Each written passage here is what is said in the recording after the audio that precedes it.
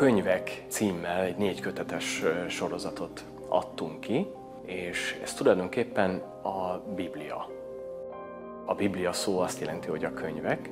Megszoktuk, hogy a Biblia általában egy kötetben kapható, és Biblia a címe. Most ez a különleges Biblia kiadás abból a szempontból különleges, hogy nem különleges. Olyan a külalakja, és olyan a tördelése, olyan a borítója, mint hogyha ilyen nagy könyv lenne, nagy regény lenne. Azt szeretnénk, hogy a Bibliát olyanok is kezükbe vegyék, akiknek mondjuk az egyház tagság az nem evidencia, vagy nem olvasnak naponként Bibliát.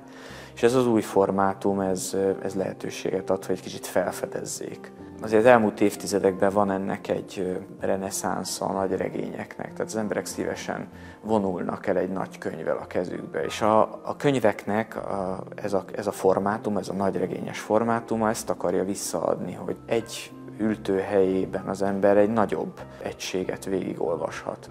És azzal, hogy kikerültek belőle a, a, a Bibliának a megszokott markerei, tehát ilyen jelzőpontjai, a versszámozás, a, a részszámozás, a szakaszcímek, azok a úgynevezett perikópák, ilyen olvasási beosztások, amiket az egyházban mi megszoktunk, hogy egy A-ból B-ig terjedő szakaszt olvasunk föl, az az igényedetés alap szövege, ezek nincsenek benne, hanem nagy egységek vannak, tulajdonképpen nagy fejezetek vannak benne, nagy tematikus fejezetek, tehát tényleg úgy olvasható, mint hogyha egy nagy regénynek a fejezeteit olvasnánk.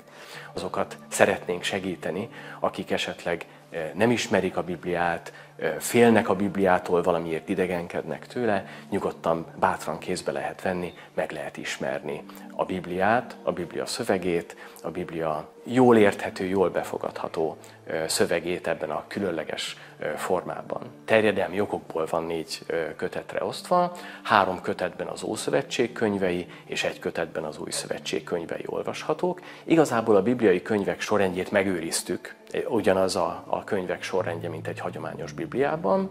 Az első kötetnek az a címe, hogy Kezdetben, ez az első történeti könyveket tartalmazza, ugye a teremtéstől egészen Rút könyvéig. A második kötetnek az a címe, hogy Erőm és énekem. Ez a további történeti könyveket tartalmazza egyrészt, illetve azokat a költői szövegeket, amiben nagyon sok ének van, nagyon sok olyan bölcs megfogalmazás, bölcs mondások, szövegek, amelyek mind a Biblia részét képezik. Ez a legnagyobb kötet. A harmadik kötetben a proféták könyveit olvashatjuk, így szól az Úr, ez a címe.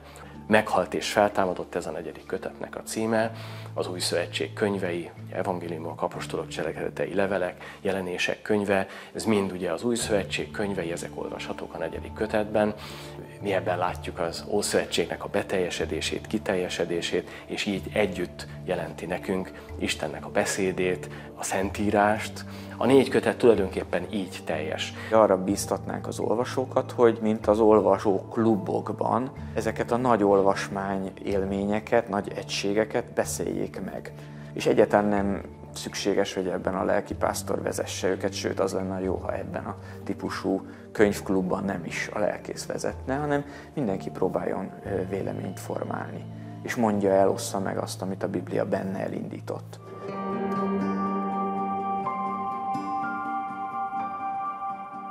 A túlélő készlet a Biblia olvasásához, ez a címe ennek a kis kiadványnak. Szándékosan provokatív is egy kicsit a cím. Elsősorban fiataloknak szántuk ezt a kiadványt.